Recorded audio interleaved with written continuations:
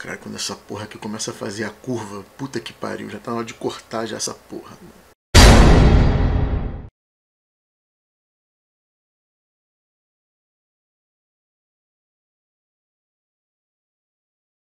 E aí, rapaziada que assiste o Aftermath, estamos de volta. E hoje mais um review bacana pra vocês de qual jogo?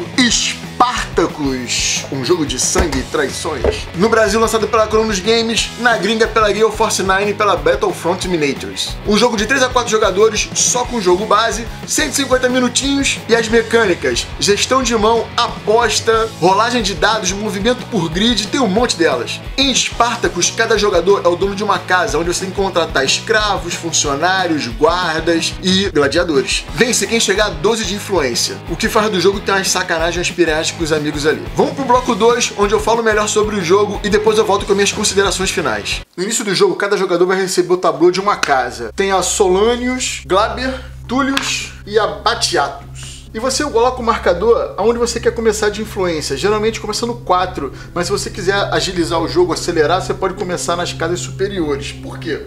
A primeira fase do jogo é a fase de intriga. Você vai começar com essas cartas na mão e aqui em cima tem um custo que você tem que ter de influência para poder utilizá-las. Então, se eu tenho 4 de influência, eu só posso usar a, as cartas com até 4 de influências que elas, que elas me custam. Então, eu não posso usar nem a de 8 nem a de 6 só 0, 4 e a 2. E o bacana do jogo tá que eu posso pedir influência para as outras casas para poder cobrir. Então, se algum adversário seu tem 8 de influências ou mais, ou mais 4 de influência, você pode usar suas, seus 4 de influência mais 4 de outro jogador para poder fazer uma carta de 8. E isso é a negociata que acontece no jogo. E os jogadores começam também com gladiadores iniciais, escravos e guardas, de acordo com a configuração da sua casa. A próxima fase é a fase de mercado.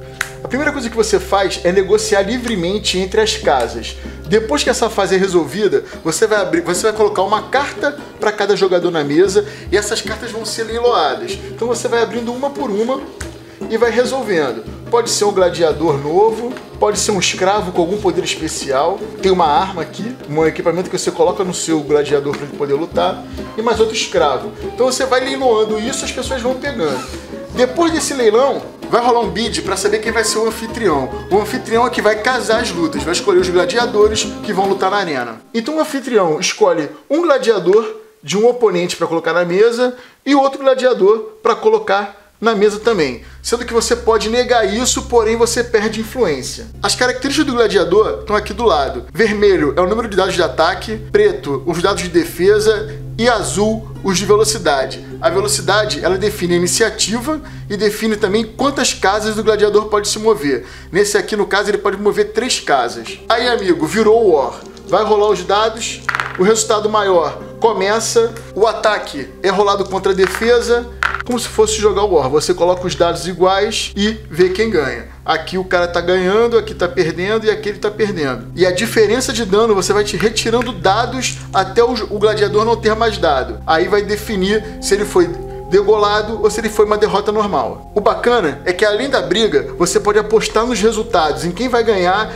e qual vai ser o tipo de morte, se vai ser por decapitação ou por ferimento normal essas apostas vão te dar um dinheiro extra para você poder comprar mais coisas durante o jogo. Qual é a minha dica para você que vai jogar Spartacus? Ele é um jogo de influência. Então, meu amigo, cada um começa com 4 de influência. É muito pouco para você poder fazer as suas cartas. Então você tem que negociar a influência dos amiguinhos para poder fazer cartas melhores. Então, tem que ter interação. Você tem que virar pro seu amiguinho e falar: "Ó, oh, me dá me ajuda com a sua influência aí para eu poder fazer uma coisa bacana". Aí o cara te ajuda, você pega a influência dele com a sua, faz a cartinha e cumpre ou não o prometido. Se não for para jogar assim, nem senta para jogar Spartacus. Ele foi feito para isso. Tem que ter interação e sacanear os amiguinhos. E o que, que, eu acho do jogo? Para começar, minha nota é 8,5. Gosto muito de Spartacus. Eu não comecei a jogar ele agora, eu jogo ele desde 2012, quando ele foi lançado lá fora, que os amigos meus compraram, tanto o jogo base como a expansão. Cronos, eu não tenho a expansão. E com ela dá para jogar até 6 jogadores. E o que eu acho bacana é que mesmo aumentando o número de jogadores, o tempo de jogo não aumenta.